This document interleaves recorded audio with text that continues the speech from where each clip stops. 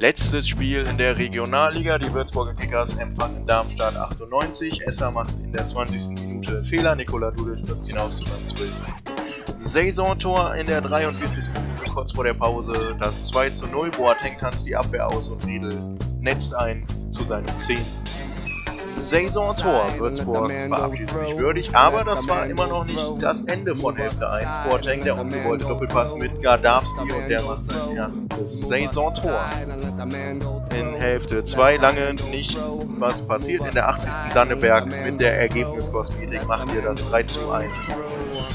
Sein viertes Saisontor Vorarbeit kam von Mikael Gemur. Endstand 3-1.